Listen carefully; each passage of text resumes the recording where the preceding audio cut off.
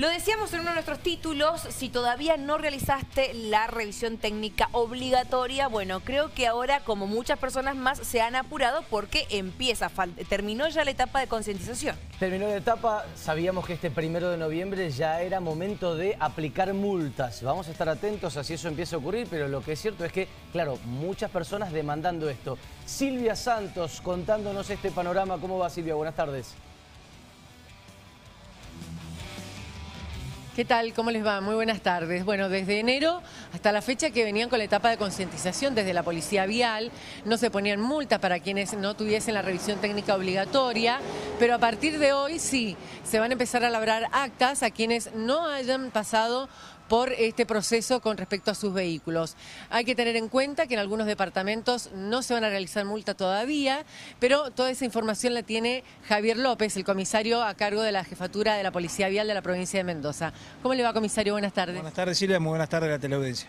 ¿Cuáles son los departamentos donde todavía no se va a pedir la revisión técnica obligatoria? Bien, en zona sur tenemos lo que es Malargüe, en Valle de Uco, los tres departamentos, Tupungato, Tunuyán y San Carlos como así en zona este tenemos Santa Rosa y La Paz, y en lo que es el Gran Mendoza tenemos La Valle.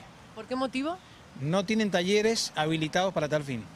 ¿Qué condición tiene que tener el vehículo o la persona que maneja para que justamente no tengan la multa? Bien, eh, si reside en estos, en estos departamentos debería tener la tarjeta verde donde figure el departamento como así su, su DNI con el domicilio actual. Con el domicilio en esos departamentos. En esos departamentos. Y ahora, a partir de hoy, se empiezan a poner multas en distintos controles. ¿Dónde van a ser esos controles? En el resto de los departamentos, digo. Bien, eh, se ha instalado, los controles son rutinarios, eh, como se viene manejando en toda la provincia de Mendoza.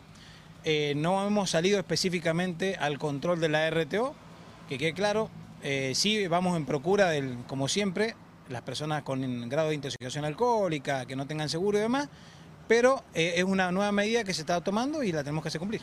¿Pero habrá específicamente controles para esto o serán los rutinarios? No, son los controles rutinarios. Es una medida más que se, va, se agrega a las que siempre pedimos. ¿Cuál es el motivo por el cual ahora empieza a regir?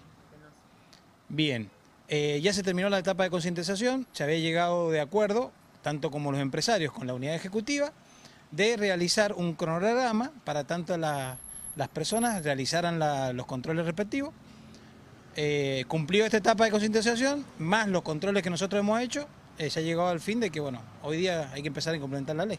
¿Las multas eh, qué costo van a tener? Bien, sin unidades fijas corresponde a 30 pesos cada unidad fija, 3 mil pesos. Sería una falta leve. Para un auto. Para cualquier vehículo, es una falta leve. Para todos los vehículos falta leve, pero varían en unidades fijas. claro, se que todas se catalogan conforme las unidades fijas, que serían sin unidades fijas, correspondería a 3 mil pesos. ¿Tendrían un aumento el año que viene? Y el primero de enero la ley tributaria especifica diversos aumentos en todos los, importes de las unidades fijas. Alrededor del 80%, según tenemos entendido, de acuerdo a lo que es el presupuesto provincial. Eh, comisario, cuéntenos, antes de realizar el trámite de la revisión técnica, ¿qué hay que tener en cuenta en nuestro vehículo para que salga positivo, para que esté todo bien? Bien, todos los dispositivos activos y pasivos. De por sí, el sistema lumínico tren delantero, alineación y balanceo, eh, cubierta, el estado de las cubiertas, el estado de los amortiguadores, eh, bueno, todos otros sistemas como matafuego, balizas tiraxiales, el chaleco reflectario, botiquín. Todo lo que tiene, todos los implementos de también de primeros auxilios, digo. De primeros auxilios, claro, todo lo que significa eh, elementos de seguridad activos y pasivos conforme a la normativa. ¿Tiene algún eh, tipo de, multa superior si pasan varias veces que le ponen multa por no tener la RTO? O sea, por ejemplo, pasaste por tres controles, te pusieron multa, ¿puede pasar algo más? No, no, no. En realidad, eh, vuelvo a decir lo mismo, estamos haciendo, más allá de la concientización, se va a tener en cuenta esta situación. Si se, la, se le acaba de confeccionar un acta por la RTO, obviamente que otro puesto no lo va a hacer. Esta es la realidad. Y tampoco se le podría incrementar el monto porque son faltas totalmente distintas en el tiempo y en el espacio. Para tener en cuenta, comisario, ¿alguna recomendación con respecto a esto? Bien, eh, en realidad no esperen que le confesione el acta más allá de que es una falta leve y no corresponde a la retención del vehículo. No esperen que le confesione el acta. Mantengan sus lesgajos eh, limpios o sin antecedentes, teniendo en cuenta que cualquiera puede ser pasible de cualquier accidente y al momento de ser requerido ante una autoridad judicial, los antecedentes de cada persona conforme su DNI eh, les van a figurar negativos. Sí, Julián, te escuchamos.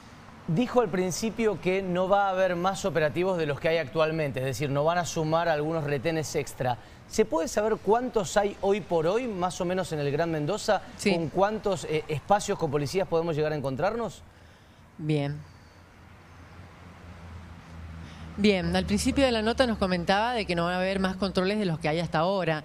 ¿Tiene en cuenta cuántos hay fijos o son móviles los, los operativos que se van realizando? Bien, desde que está mi gestión no tan solo realizo puestos fijos, sino realizo puestos móviles. Me ha dado más resultado ir moviendo los puestos cada 30, 45 minutos, que muchas veces la metodología de tener puestos instalados prolongados en el tiempo. Eh, pero estamos manejando entre un promedio de 23 a 32 puestos diarios. ¿Diarios? ¿En qué lugar, por ejemplo? y lo manejo indistintamente, en todo lo que es ruta y también en el interior del departamento. Por ahí los conductores piensan de que no ingresamos en el interior del departamento y es cuando se sorprenden y nos encuentran adentro. Silvia. Otra pregunta sería si los agentes municipales también pueden poner multa con respecto a la RTO. La ley es aplicable para todos y ellos son un organismo de control y de aplicación igual que nosotros, así que no habría inconveniente. Multa. Sí, dice. No, para repasar nada más. En el caso de que la persona sea parada por primera vez, no tiene la RTO, igualmente ya va a aplicarse la multa. O esos, esa primera vez se toma como una advertencia, pero ya la segunda, o aquella persona que se paró en una primera instancia y no la tenía, se volvió a parar, tampoco la tiene, si también van a haber algunas diferenciaciones en esos casos. Bien, entiendo que no. Eh, si la persona que es detenida por primera vez y se le pide la RTO, que no hubo otra instancia previa de concientización, eh, ¿se le pone la multa igual si es la primera vez que se lo detiene? Bien, estamos llevando, hemos venido llevando una base de datos, eh, que ya tenemos más de 100.000 controles realizados. se le va a concientizar, pero en la segunda oportunidad es casi seguro que se va a hacer aplicar. La segunda, que si te paran hoy, que ya rige la ley, y no te ponen la multa si antes no te lo habían puesto y si antes no te habían parado, digamos. Si vamos lo que corresponde conforme a la normativa, correspondería a la infracción vial. O sea, ya está aplicada y demás. Eh, todo queda en criterio y es lo que estamos tratando de hacer, de que la gente tome conciencia de hacer cumplir las normas, nada más. Esa no es, no es, la, no, es la metodología salir y buscarlos por la RTO, no es la metodología. Lo que sí necesitamos es que la gente se rija conforme a las normas porque vivimos en sociedad.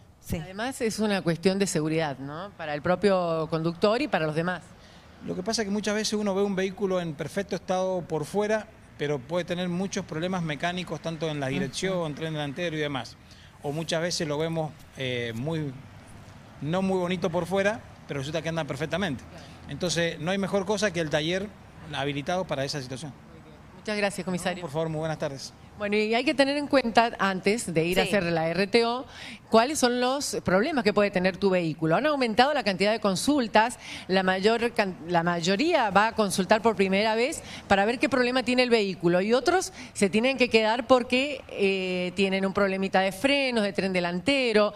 Y lo más caro son los neumáticos, pero alrededor de 15 mil, 20 mil pesos es lo que tiene que gastar cada automovilista para poder dejar en condiciones su vehículo. Lo estuvimos consultando en un taller mecánico de Guaymallén y esto es lo que nos decían